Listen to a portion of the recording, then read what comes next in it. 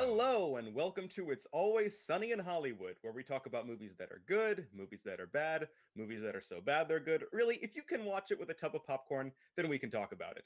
My name is Patrick, and the inner machinations of my mind are an enigma. And my name is Red. Um, your turn, Lugia. Hey. That's it. Yeah, I, I want that to be my intro, just to say my name and then. That's okay. All right. That'd be a you- funny contrast because yours went on pretty long, and I just say, and Well, I'm Red. I have to, I have to introduce it because I... I know that's why it's funny. okay.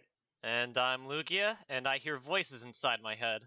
All right, so um, let's just start off. Uh, happy Easter, everybody. Happy Easter 2021. Though Chocolate there's a, eggs! There's a 100% chance that you are not listening to this on Easter, but we hope you But had a happy Easter. There is one uh, event that happened just today that's uh, even more important than Easter. The JoJo Part Six anime got announced. Yeah, I heard that was a thing now. I should. you- have you ever watched JoJo, uh, Lu, Patrick? Uh, Lou Patrick is not here, but I can answer for him. Uh, he says no. I've seen the first two parts. I've seen the that's it. first three, uh, and I got about two episodes into part four, and I just put it down. I'm actually looking forward to part four. I'm just not looking forward to part three, especially because of how long it is. I like part three. It's just full of filler, though. Like, God, it has some of the worst pacing I've seen in an anime. Yeah, that's funny that that's the one that really blew it up. That's the popular part. I I don't yeah, um, understand it though. We got a special Easter themed episode for you today. And by Easter Right. themed, I mean we happen to be recording this on Easter Sunday. Yep. That's it. And Yeah. well, I And it's can gonna tie it come in out a a week little- later. I can tie it in a little into Easter. mean- Uh, bunnies. Bunnies. Space Jam 2 trailer came out a few days ago. Ah, ago. yes. Uh, yesterday. Yeah, it's basically um from what I've seen, it's uh basically Ready Player One and Ralph Breaks the Internet. So um Yeah, that was basically my thought too. yeah, The you know, entire time watching the to be fair, it is keeping up with the spirit of the original movie in that it's um a giant soulless advertisement. HBO Max, the movie. Yeah. Well, Lugia, have that- you seen the trailer? I have not, and I don't really care to. I'm not for Space Jam 2, honestly. Oh yeah, I'm not gonna watch Space Jam 2. Wh- One I found really interesting. They I want to cut- watch it just because it's going to be a spectacle. Yeah, what I found interesting about the trailer is that for some reason they cut out. They apparently cut out Pepe Le Pew because you know Pepe is kind of a rapist, but they kept the characters from Clockwork Orange. Have any of you guys seen Clockwork Orange? No, but I did I see your have Twitter post explaining it. Oh, you follow me on Twitter? Yeah. I do not have Twitter, so don't even ask. Oh, how, how many tweets have you seen from my Twitter account? Too many. Oh, I post some weird shit there, man. Oh no. okay. Uh, but yeah, uh, basically, the main characters of Clockwork Orange are meant to be just the worst human beings ever. And there is a famous scene from the movie where the main character rapes an old lady while singing, singing in the rain. It's a messed up movie. Let's just leave it at that. And uh, for some reason, that's in this movie for kids. Whatever. As much as I like the Lego movie, I kind of hate this trend it started off where people just use their um the movies as a giant advertisement. Well, Space Jam predates the Lego movie by over a decade. Yeah, but Space Jam was just trying to sell sneakers. It wasn't trying to sell like it's in the entire movie's catalog. I mean, I guess you can say Roger Rabbit. Roger Rabbit was very specific to cartoons, but you know, whatever. Yeah, out of this, I guess, genre of movies, if we're gonna rank them by quality, Lego Movie, Who Framed Roger Rabbit, uh, Looney Tunes Back in Action, and those are the only good ones. Anyway, uh, moving along. Yes. Uh, have any of you guys seen Godzilla vs Kong? I've only heard people talk about it. All right, I've seen. I have. I've, I've only seen the memes. I have not seen a single movie in the MonsterVerse. This is apparently the fourth part of a series, so who Well, only one I've seen is Kong Skull Island, and I do like. I did like that one, but I don't really have any interest in checking out the others. Uh, just not my apparently. Kong Skull Island's the best one, except uh, arguably the 2014 one, which apparently goes a completely different direction and is a lot more artistic. The only Godzilla movie I've seen is Shin Godzilla, who which is from the director of Neon Genesis, uh, Neon Genesis Evangelion. I think I saw a couple of the older movies on TV when I was a kid, but I don't actually remember, you know, which ones. I remember. I think I saw one of the newer Godzilla films. I do not remember what it was called though. It's probably And- called Godzilla. Was it the Peter Jackson one, the three hour long? I don't know. That was King Kong. That wasn't Godzilla. Oh, sorry, I'm mixing up my monsters.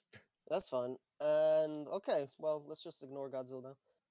So I don't know how into anime you are, Patrick, but Lugia and I are. So um, the new anime season Okay, just started. All right. First off, I'm not that into anime. I like a few should be. shows. I don't religiously watch it though. Yeah, you should do. All right, whatever. The new season started, uh, and there's a couple interesting entries. Um, My Hero Academia season five started.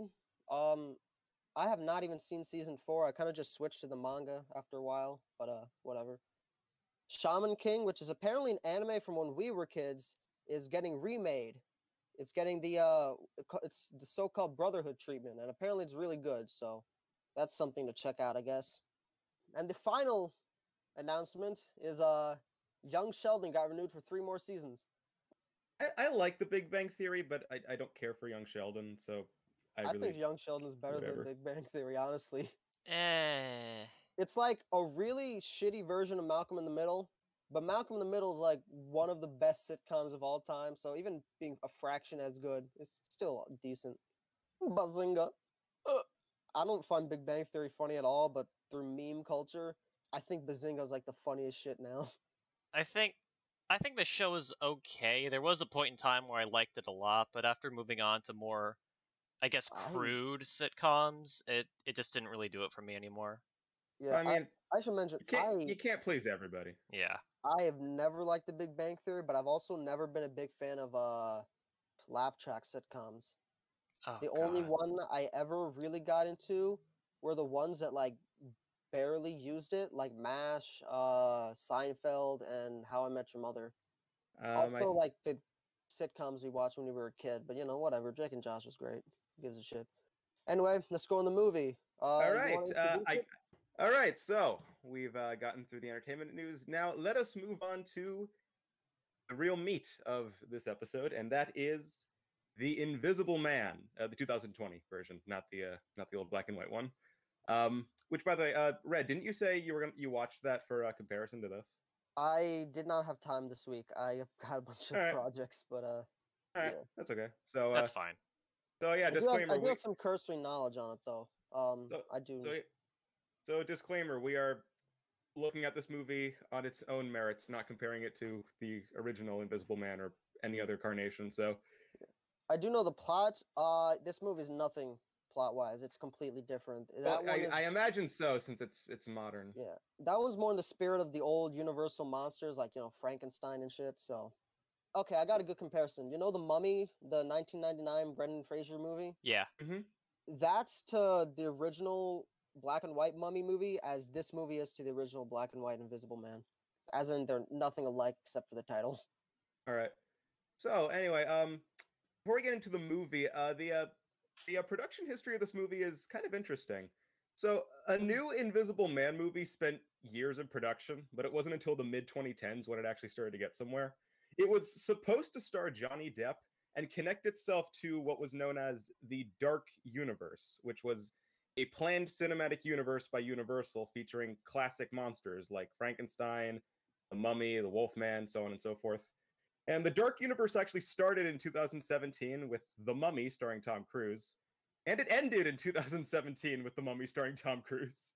They managed That's to get one sign. installment, but it, it bombed so hard at the box office, Universal basically scrapped the whole thing and decided to refocus uh, all future monster movies as standalone films.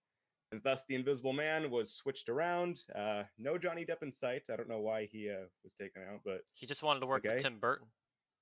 I guess so. I mean, Uh, it's probably because of the abuse allegations that were proof false, by the way. But he was accused of abuse. Anyway, uh, so thus we have this Invisible Man movie that is not connected to the Mummy in any way, not connected to anything else, just its own standalone movie. Uh, it was written and directed by Leigh Whannell. Am I saying that right? Lee Winnell. Lee Whannell, and he is uh, best known as the co-creator of the Saw franchise, and he previously directed Insidious Chapter 3 and Upgrade. So this guy is primarily Yeah. works in uh, horror movies. Upgrade's a pretty good movie. I recommend it. It's kind of like um, I've heard of Upgrade, I've never seen it though. it's like a dark sci-fi version of Venom. That Haven't probably seen makes Venom. no sense, but uh, it's it's good. Don't watch. I want to recommend Venom over Upgrade. Upgrade's better. Uh-huh, so I've heard. Well, I've, I've, I've, I've not heard much about Upgrade, but I have heard about Venom. So Yep. Uh, he also uh, acted in the Saw movies. Uh, he played Adam, who was the main character of the first one. never seen Saw, so I cannot comment. Okay. Neither can um, I. He's a decent actor. Again, Yeah, I, am not a horror movie guy, so yeah. The, the I production of the can't really, I can't, I can't really speak for anything. I know it's weird since I selected this movie, but I was curious about it. Yeah. Well, um, I think Lee Manel's a pretty good director. Um, is I think that covers most of the background, right? Yeah. And uh, there's no Johnny Depp here, but we do have Elisabeth Moss uh, playing the main character, uh, not the Invisible Man, uh, the man, uh, the girl lead. We'll go into them a bit later. Uh, actually, all a lot of actually, I realized a lot of the cast in this movie they primarily worked in television. Like Uh, Elisabeth yes. Moss is from uh, is known for Mad Men and Handmaid's Tale. yeah, a Mad lot of is a very people. good show, by the way. I uh, highly recommend it.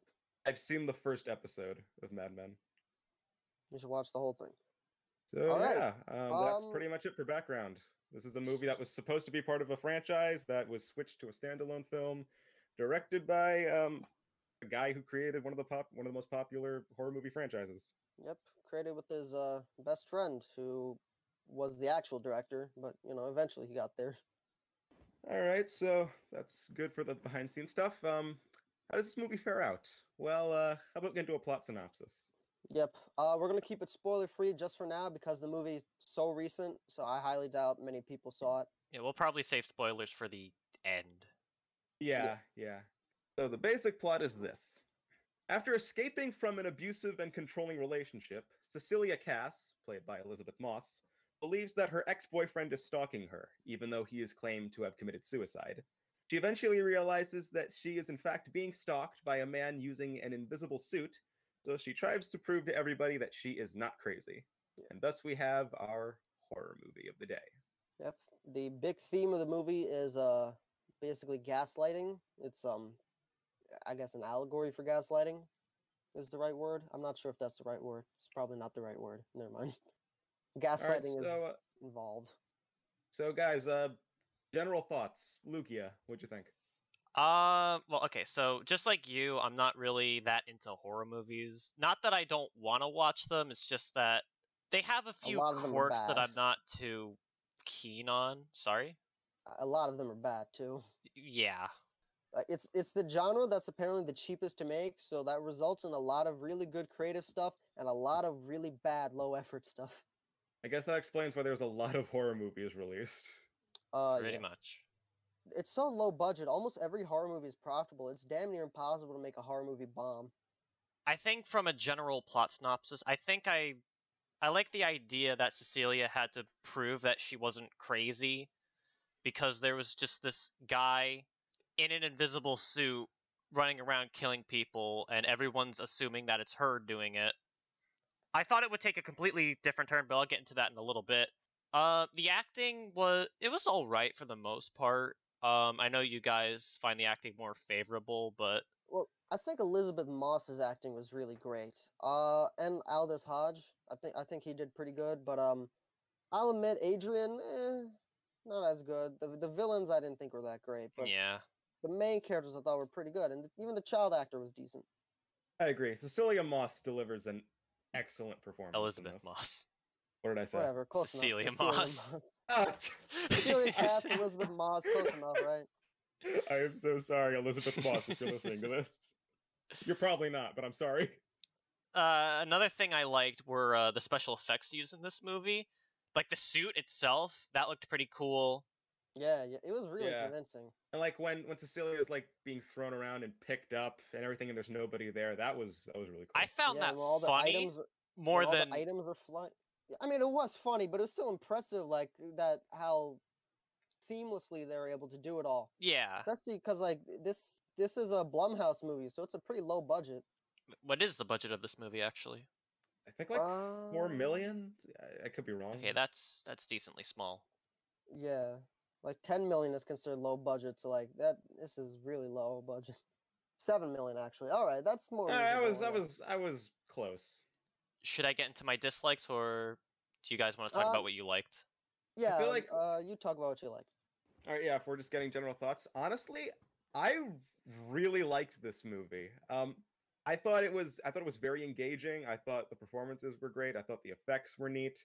Uh, I was just completely engaged the entire time. Uh, it does have a few issues, particularly around the end, but overall, I thought this was a really solid film.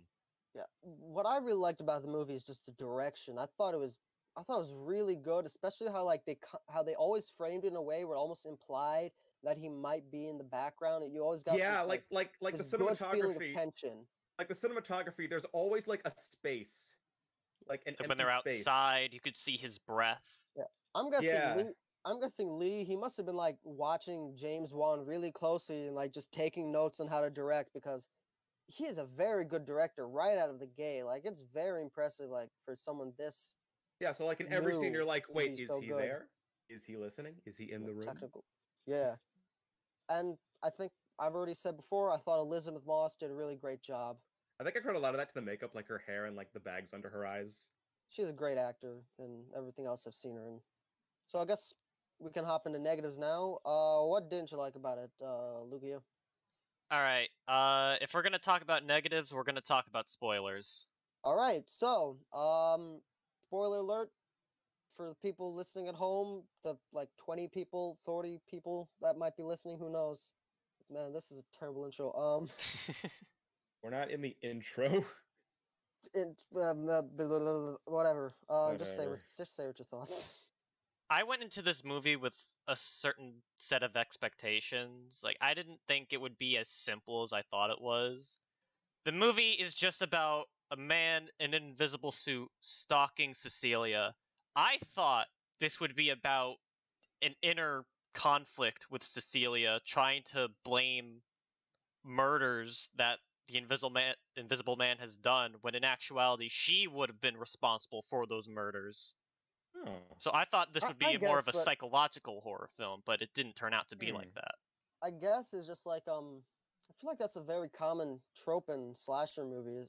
And again, I know you guys haven't seen many horror movies, but that's actually very common. Well, sort of. I guess. Uh, I don't know. When Patrick said this movie was going to be like Memento, that's what I kind of thought.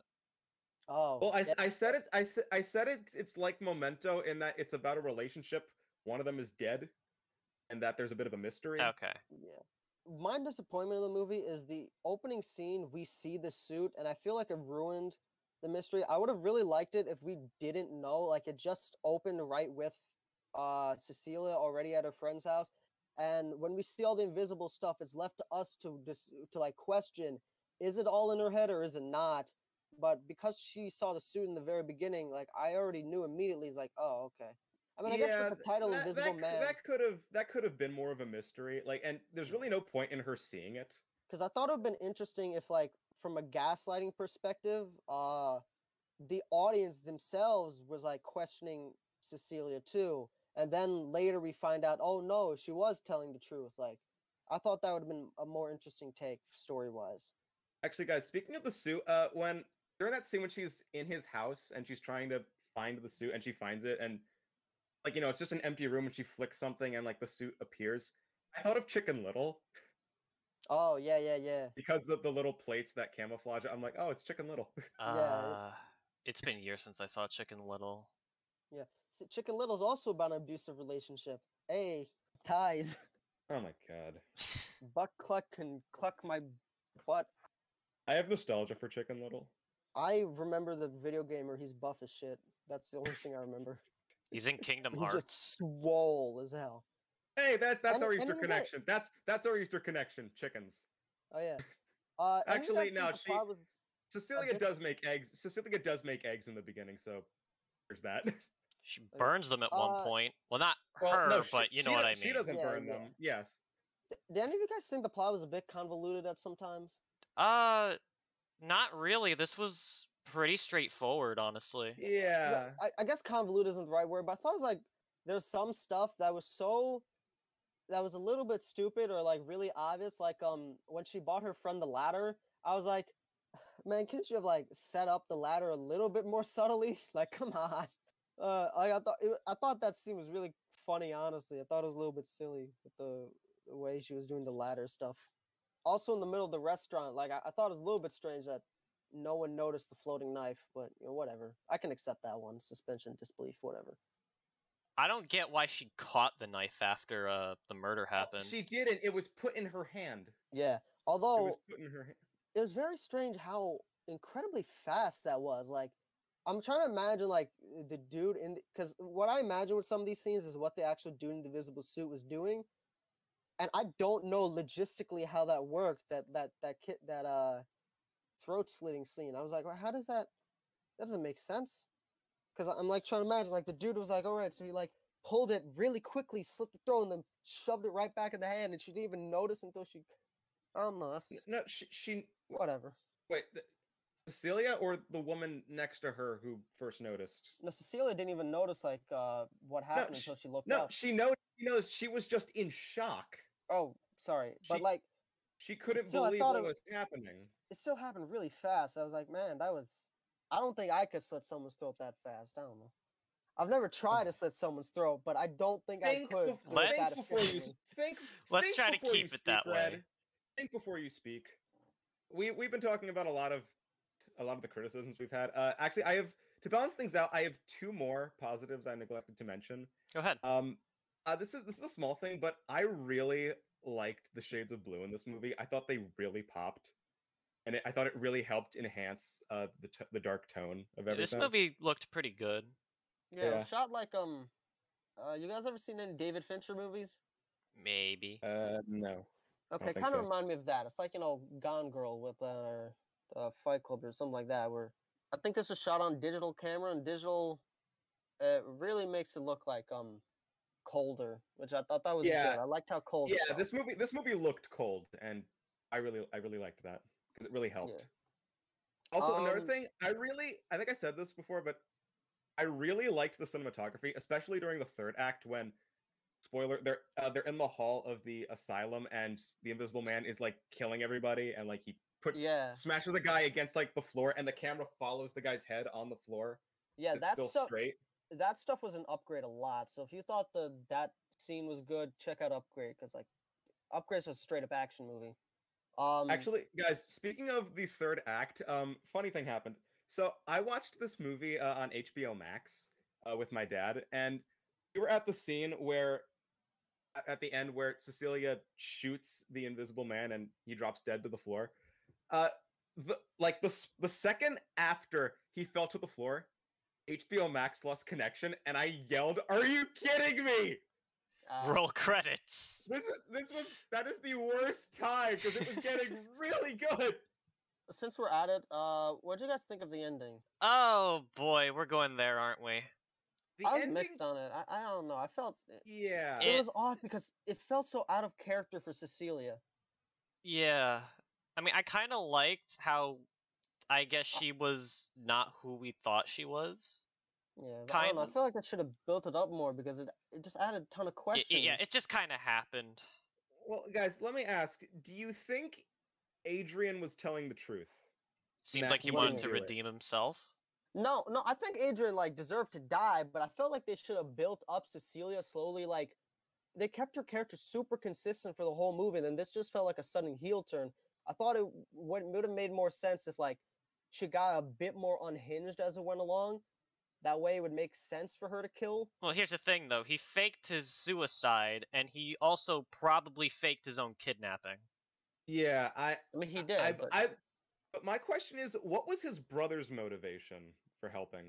Money? no, my understanding was I- that the brother was also a victim of Adrian's abuse, and it was just kind of a case of another abuse victim. Just, I was kind of, I don't know. That's what I assumed. Maybe I don't know, but I, I didn't understand when she took the mask off and it was it was it, it wasn't Adrian, it was his brother. I'm like, um, what? And even when the movie ended, I was like, um, what? Yeah, the ending was a bit messy. Well, it wasn't Yeah, messy a enough to like little bit. ruin it, but like I don't Yeah, it didn't ruin it. I I still thought this was a really solid movie overall. Yeah. Uh, what would just be your, I guess, overall ranking? I guess grade. I don't know. I'd I was say thinking like seven out of ten. yeah, somewhere around there. Yeah. I mean, it's still a good movie. It just has a few little quirks that kind of kept it from Yeah. being a solid movie overall. Seven to me means it's pretty good. So Yeah. I'd, I'd consider it a compliment. Uh, I put it like below Scott Pilgrim, but I'm a cheerleader Memento, but above The Departed, so like right in the middle of everything I think- we've seen. Yeah, I think that's where I'd put it too. Honestly, I'd I'd give this movie an eight. Um, I don't know exactly where I'd put it amongst uh, Memento and Scott Pilgrim, but I do know this is definitely among the higher up of movies we've talked about so far. Yeah, no, Oh, this is definitely on the good end. Oh yeah, definitely. Yeah. So, yeah, I'm I'm I'm glad I finally got to see this movie. Yeah, well, um, I got some recommendations for movies that are kind of similar. Um, these are mostly horror movies, but they're like they're kind of a horror movie where it's not too like shocking. These are good. I I think you'll like these ones.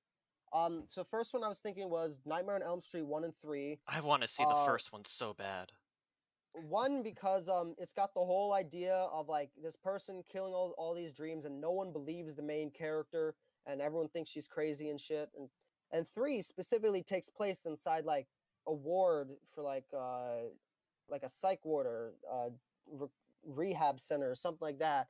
So it's it's got like a similar vibe to like Cecilia when she's like thrown in jail and stuff. Then there's Scream, which how it connects to this movie is a bit of a spoiler, but it's got a pretty interesting twisty ending. Um, I'm not gonna go into detail. Then there's Perfect Blue. Perfect Blue is probably one of my favorite movies of all time. It's like a 10 out of 10 to me. I'm actually gonna recommend it one day in the podcast later down the road, so be, be- prepared. But um, the way it connects is that essentially it's another case. There's like this psychological thing where um, she she thinks that she's being haunted by like a ghost or something. I, I don't really want to spoil it, but um, you know, things aren't as it seems. Uh, it got a similar vibe to Nightmare on Elm Street, I guess, in that department, but it's a lot more symbolic. I also put Black Swan. I have never seen this movie, but everyone tells me per- it's a ripoff of Perfect Blue, so I'm assuming that they're similar. Isn't Black Swan a movie about like a dancer? Yeah, but uh, Perfect Blue is um about a Japanese pop star, so a similar thing. I don't know. I've I've never seen Black Swan, so I I can't say. But from From the like director Black seen. Swan, Black Swan has a couple of very similar shots to Perfect Blue, and the director of Black Swan did try to buy the rights to Perfect Blue before because he wanted to make a live action remake. Okay, next movie recommended is Candyman. You guys ever seen this? No. Uh, no, I know there's a new Candyman movie coming out, but I, Yeah. I Um, know. yeah, this one also has a similar idea to Nightmare on Elm Street, where you know no one really believes the lady, and she's being haunted by a ghost type creature. A lot of horror movies honestly have that. Even Child's Play has the idea of like no one believing the kid. So, yeah, here's people not believing is like the main character when they say they're being chased by a supernatural maniac. That's a pretty common trope in horror movies, honestly. So you put us, and is the reason for that because Elisabeth Moss was also in that? Yeah. I knew it. That's really it. That's the only reason I put it there. Um, then I was going to recommend Promising Young Woman. It came out the same year as Invisible Man. Um, Last year. yeah, it's got a similar. It's really not that similar, but it's got like tangentially related to me. I think a little bit with like people not coming being who they seem, and like uh, main character's a woman, and she's sort of got a shitty deal. Um, and filmmaking wise, it reminds me of Upgrade, and some reason it gave me similar vibes to Split at a couple times, just like in terms of cinematography, but also like there is the psychological aspect of it. So um, that's it for my recommendations. Although, looking at back up our notes, uh, I, we didn't really talk about him much. But what did you guys think of Aldis Hodge in the movie? He played James. Police officer? No, uh, he was the friend.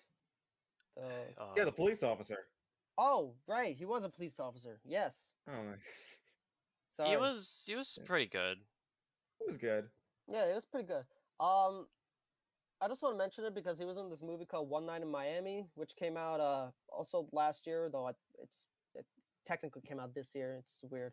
I I just want to recommend this. You guys should watch that. It's really good. Mad Men. Apparently, Oliver Jackson Cohen was in the Haunting of Hill House series. Was uh, you guys ever see that? Is that good? No. Yeah, I don't recognize anything except Aldis Hodge and Elisabeth Moss, so I guess I'll just leave it at that. All Oh, right. Fun fact: Aldis Hodge was in Die Hard Three, except he was like seven years old, so he played like a little kid. So, So, uh, any uh, further thoughts on Invisible Man? Oh, just a pretty solid horror thriller. it's a little Alright. cheesy here and there. A little bit, and it, It has was- occasional horror, dumb horror movie tropes. yeah, like it wasn't even that scary stupid. for a horror movie. It was more or less a mystery, or at least that's how I took it. Actually, um, funny thing, uh, I watched this movie with my dad. Um, originally my mom was gonna watch with us, but like as soon as like the first shot, she was like, "Oh wait, I saw the trailers for this movie. No, can't do it. Can't do it." And she left. And I'm like, um, "You're not even gonna give it a shot?" She's like, "Nope, nope. Saw the trailer. Nope." Just tell her it's not scary. I, I explained the whole movie to her. and She's like, "Yeah, it's a good thing I didn't watch it." Because my mom gets Alright. easily, my mom gets easily spooked. I mean, I do too, but Yeah. Yeah. Alright, so now it's your turn to recommend um, a movie. Red, it's your turn, and I'm not gonna lie, I'm a I'm a bit worried because last time you recommended "But I'm a Cheerleader," which is a bit of a difficult movie to talk about. Yeah. so, So, hopefully this time it's not something. It's not as yeah. Blazing uh, Saddles. There's a bit of a story Oh, about my thought no. process. I'm not doing that. I decided not to go with a controversial topic. But um initially I was thinking about recommending Pain and Gain, but then I remembered you guys have never actually seen a Coen brother movie, right? I I've don't seen. uh I've seen so. "Oh Brother, Where Art Thou." I've seen "Oh Brother, Where Art Thou," and I've seen uh, "Hail Caesar." So anyway, I was saying the Coen brothers are probably my favorite directors, at least favorite American directors. And um, so I decided to pick the first Coen brother movie I ever saw. It's called Burn After Reading. Burn after reading. Not, Yeah, I've not heard that one at all. Doesn't sound familiar. Released in 2008. It's uh, dark comedy. Um, I think it's incredibly funny. It's on IMDb TV for free, so that's how I recommend you guys go Okay. and watch it. It's got Brad Pitt and John Malkovich. Okay. Oh, Brad Pitt's character is so good in this. But yeah, Burn After Reading.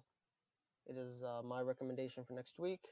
Yeah, Coen Brothers, they're some of the best directors ever. Uh, this isn't one of their most popular movies, but I'd still rank it in my top five.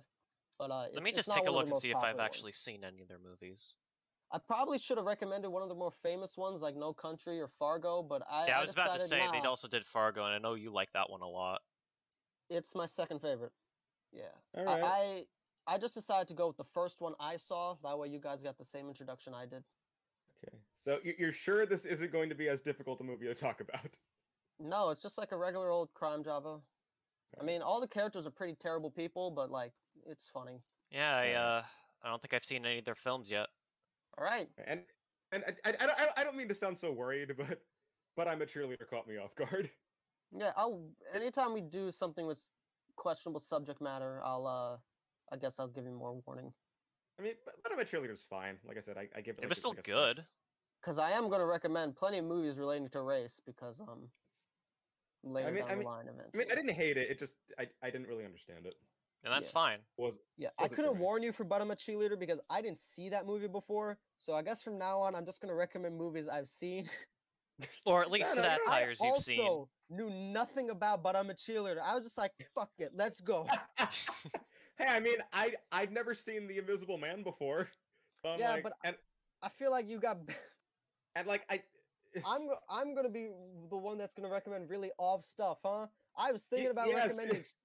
I was thinking about recommending Super, which me and Lugia saw last night. Yeah, you would have hated Super. Good yeah, that's kind of a no go for Patrick. Now now I'm very curious. That's from the same guy who directed Guardians of the Galaxy, but you would not James believe Gunn. it. Yeah, Oh, okay. but this is Uh, early James Gunn. This is a James mean, Gunn when I he directed I fucked know- up shit. I know, I know James Gunn has gotten in some controversy over stuff he did in the past. So is this like a relic of that? Kind of. Yes and no. Oh, I mean, it's, got a, it's got a really good heart to it, but there is It's fucked up in some areas. it's fucked up. Like Oh boy. So there's yeah, like I, a brief rape scene. That's probably the worst part of the movie, the rape scene. But like everything That's else is pretty good. A lot of violence. A lot of violence. Pretty gory. It's like funny gory though, so I don't know. Oh boy. So This movie has some violence too, but like eh, to a lesser extent. You, you won't need Okay. to worry. Nothing queasy. okay, so super. No, we're doing Alright, burn I'll- after but reading. I'll- I'll, I'll, Burn after but reading. I'll I'll be cautious if I ever decide to watch Super. That's an if. That's a hard if. But that's not what we're talking about. We are talking about Burn After Reading next. So, all right, that should be interesting. All right, see you all then, and hope you had a happy Easter.